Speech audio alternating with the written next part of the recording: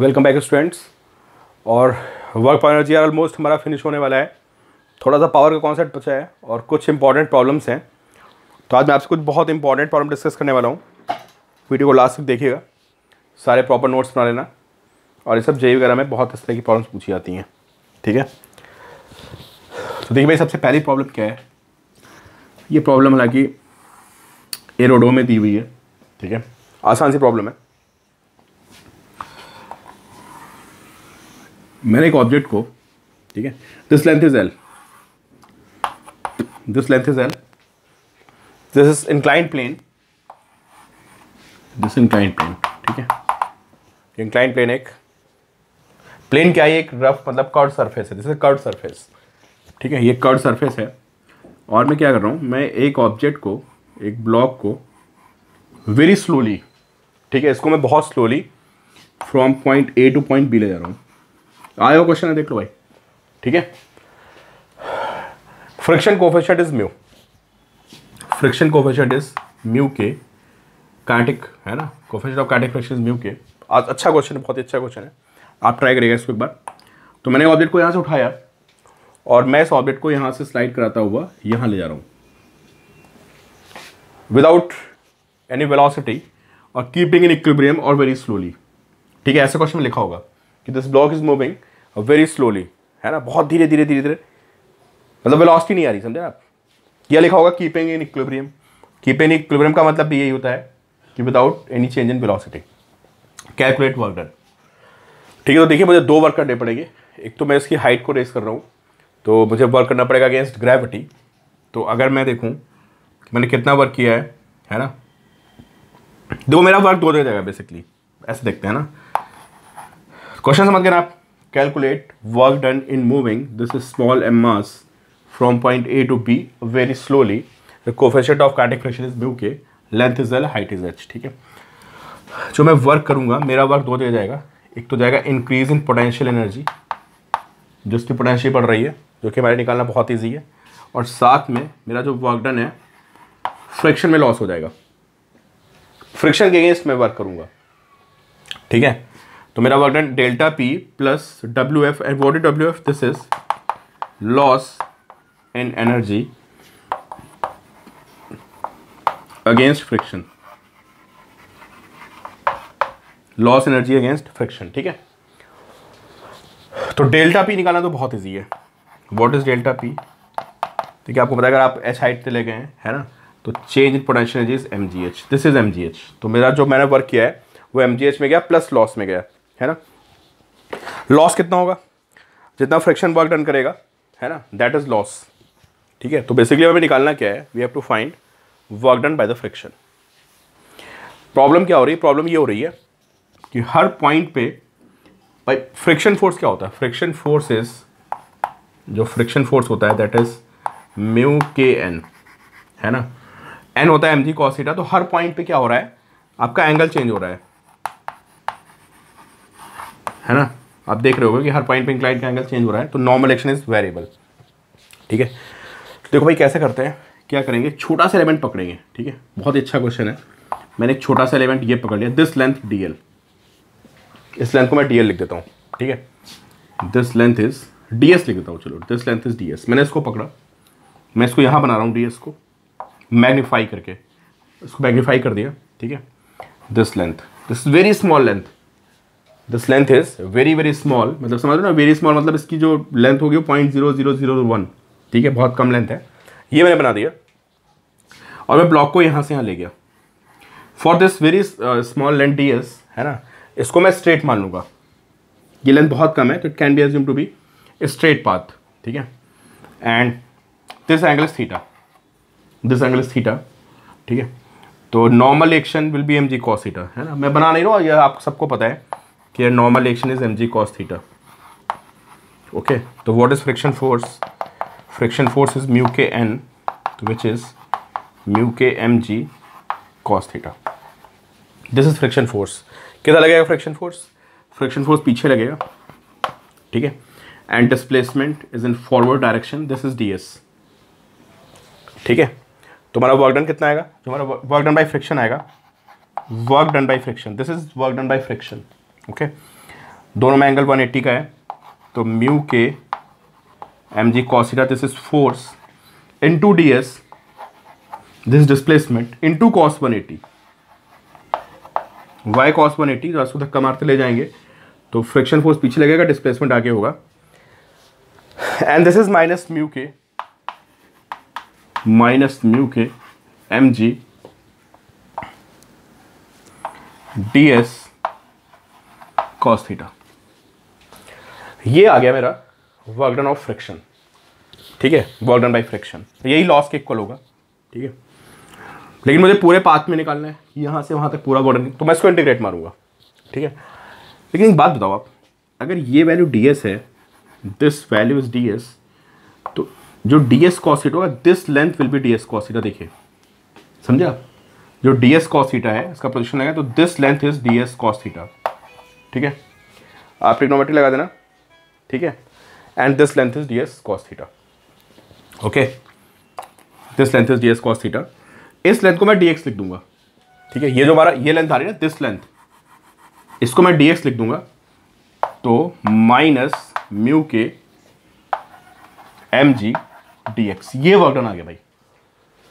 समझो आप कि जो हमारा डी एस कॉस थीटा था, वो ये लेंथ हो गई। अब अगर मैं टोटल वर्क डन निकालूँगा, है ना? अगर मैं इसका टोटल वर्क डन निकालूँगा, मैं इसको इंटीग्रेट मारूँगा, और इंटीग्रेट मारने पे क्या आएगा ये? Minus mu K M G integration D X ठीक है? अब ये बताओ this length is D X ये जो लेंथ आ रही है डी एक्स फिर आगे चलेगा ये थोड़ा सा तो फिर ये लेंथ डी एक्स होगी, फिर थोड़ा आगे चलेगा तो ये लेंथ डी होगी, फिर थोड़ा आगे चलेगा this length will be D तो एक बात बताइए, अगर मैं सारा डी को ऐड कर दूँ तो क्या मिलेगा मुझे? अगर मैं सारे डीएक्स को इंटीग्रेट मारूँगा, ये ये ये ये तो I will get this length पता है? जितने यहाँ पे डी आ रहे हैं, ये डीएक्स आएगा, फिर ये डी आएगा, सारे डीएक्स को मैं ऐड कर दूँ ना तो I will get this whole length तो integration D X is L तो this is minus mu K M G L this is work done by the friction and which is lost ठीक है? ये work done by friction है, इसका मतलब इतनी energy loss हो गई। तो what is loss in energy जो लॉस इन एनर्जी है that is mu K M G L this is loss इतनी एनर्जी लॉस हो गई। तो मेरा वर्कडन कहाँ कहाँ गया? मेरा वर्कडन कहाँ कहाँ गया? मेरा वर्कडन दो जगह गया। एक चेंज इन पोटेंशियल जी में गया है ना? मेरा वर्कडन दो जगह गया एक गया चेंज इन पोटेंशियल एनर्जी में एंड प्लस ये गया है mu K M G L में। Mu K M G L this is work done बहुत अच्छा क्वेश्चन है, बहुत ढंग से इसको आप दिमाग में बैठा लीजिए इस क्वेश्चन को। ठीक है? Then we another very important question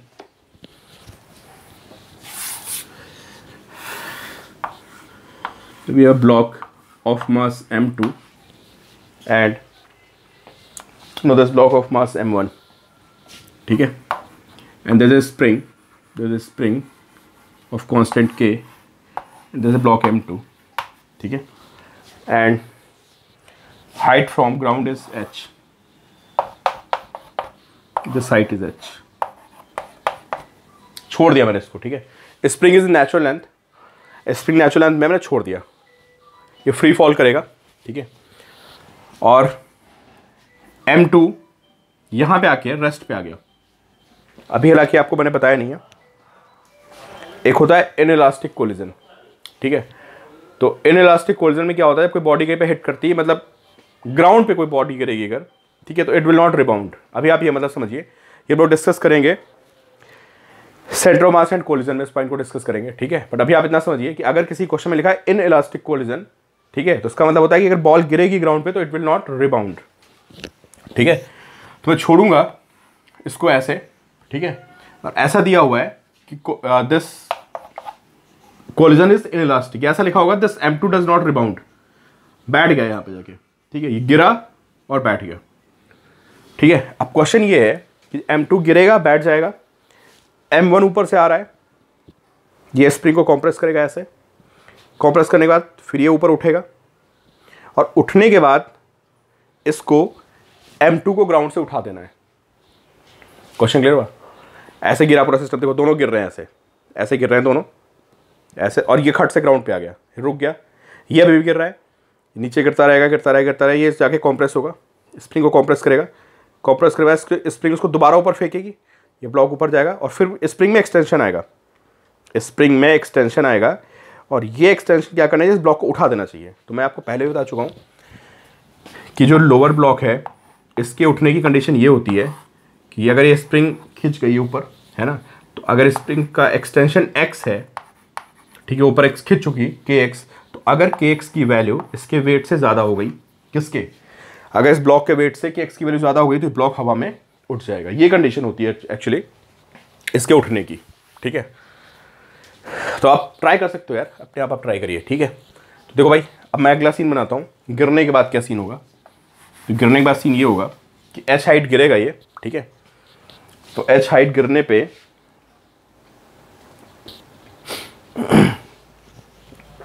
ठीक है, हमें एच पता कर रहे हैं। ठीक है what should be value of H so that M two breaks off the surface फिर गिरने के बाद इसको जब ये स्प्रिंग दोबारा एक्सटेंड होगी तो एम टू को उठ जाना है, ठीक है? तो दिस हाइट इज़ एच चलो, इसको यहाँ बनाते हैं। अब ब्लॉक गिर चुका है। ये तो रुक गया। ठीक है? जब ये हाइट गिरेगा तो इसके पास कितनी वेलोसिटी होगी आप सबको पता है। जब कोई एच हाइट गिर रहा हो तो फ्री फॉल कर रहा है, ठीक है? स्प्रिंग नेचुरल लेंथ में सब कुछ फ्री फॉल कर रहा है। तो फ्री फॉल में जब कोई एच हाइट तक नीचे गिरता है तो उसकी वेलोसिटी हो जाती है under root two G H तो ये फिगर मैंने कब बनाई? Just at the time of impact ये टाइम ऑफ़ इम्पैक्ट है। एम टू रुक गया and this is moving with the velocity under root two G H okay this block is moving with velocity root two G H अरे आलोक बैठो मैं आगे just अंदर बैठो बैठो। आलोक पाँच मिनट। फाइव मिनट्स ठीक है? आ गया। श्रेयांश भी है क्या? अच्छा आ गया आगे बैठो। ठीक है? Root two G H and हाँ फिर फिर क्या होगा? ये भाई, ये velocity root two G H हो गई। अब देखो फाइनल सीन क्या होगा? अभी ये उस टाइम का सीन है just at the time of impact ये रुक चुका है, ठीक है?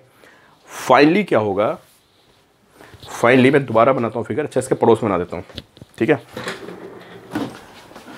फाइनली कहानी ये है कि ये एम टू यहाँ पे है, ठीक है? And this spring this block this is M one ठीक है? और ये यहाँ से दिस इज़ नेचुरल लेंथ और ये ऊपर जाके इसमें एक्स नॉट का एक्सटेंशन आ गया है। अगर इसमें एक्स नॉट का एक्सटेंशन आया तो स्प्रिंग में कितना फोर्स डेवलप होगा? के एक्स नॉट तो अगर के एक्स नॉट की value if this K X naught is equal to M two G तो ये ब्लॉक हवा में ऊपर उठ जाएगा, ये वाला block this block will move in upward direction ठीक है? ये कंडीशन है दिस इज़ इक्वेशन वन ये ब्लॉक को उठाने की कंडीशन है. अब हम लोग एनर्जी से देखते हैं। ठीक है? अब बताइए मुझे। अभी सिस्टम के पास कितनी एनर्जी है? Only kinetic energy and that is half M one in two under root two G H call this is kinetic energy this is kinetic energy with this block है ना? एंड फाइनली जाके वहाँ पे stop कर गया। ठीक है? मैं इस लेवल से देख रहा हूँ, ठीक है? तो जब यहाँ पे जब ये जाके वहाँ पे रुकेगा, यार स्प्रिंग में तो नेचुरल लेंथ में तो स्प्रिंग में कोई एनर्जी होगी नहीं, ये ये ग्राउंड पे अपना। ठीक है? इसके पास भी कोई एनर्जी नहीं है। और इसके पास जो है half M one V square ये इसके पास काइनेटिक एनर्जी है। ठीक है? और इसी को मैं रेफरेंस मान लेता हूँ। This is this is reference line तो इसकी पोटेंशियल ज़ीरो हो गई, ठीक है? एम के पास पोटेंशियल एनर्जी ज़ीरो हो गई है। ठीक है? एम टू तो हिलिंग डायस में कोई चेंज नहीं आ रहा है, ठीक है? This is kinetic energy with the system फिर सिस्टम जाके ऊपर एक्स नॉट ऊपर जाके ब्लॉक रुकेगा एम वन और रुकेगा और साथ में एम टू को उठा लेगा। तो एक्स नॉट हाइट ऊपर है तो बताइए सिस्टम के पास कौन कौन सी एनर्जी है? सिस्टम के पास है M one G X naught ये ब्लॉक एक्स नॉट ऊपर चला गया ना तो ये इसकी पोटेंशियल एनर्जी आ गई plus half K X naught square this is kinetic energy with the spring extension की वजह से and this is potential energy और ये सब यहीं से आएगी, जो इसकी काइनेटिक थी। ठीक है? तो मैंने इम्पैक्ट के टाइम पे और फाइनल उस टाइम पे मैंने यहाँ पे एनर्जी कंजर्वेशन लगा दिया। ठीक है? एम टू में कुछ हो ही नहीं रहा, वो ग्राउंड पे बैठा हुआ है। और मैं क्या करूँगा वहाँ से? एक्स नॉट की वैल्यू पुट करूँगा M two G by K X naught की वैल्यू पुट करूँगा M two G by K इसको मैं सॉल्व करूँगा। तो जो एच की वैल्यू आएगी, वो मैं आपको बता रहा हूँ। ठीक है? value of h my question number 16th okay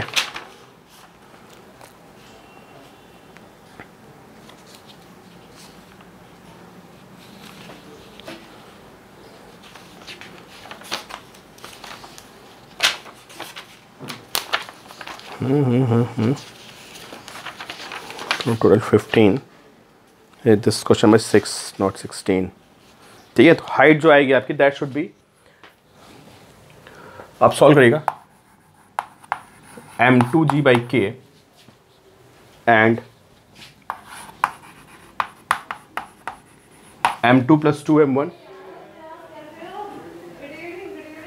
M two plus two M one upon twice of M one this is answer ही आप निकालिए ठीक है? फिफ्टीन फिफ्टीन मिनट्स की मैं आपको चार वीडियो भेजने वाला हूँ। ये पहली वीडियो है, दो तीन अभी आपको और मिलने वाली हैं।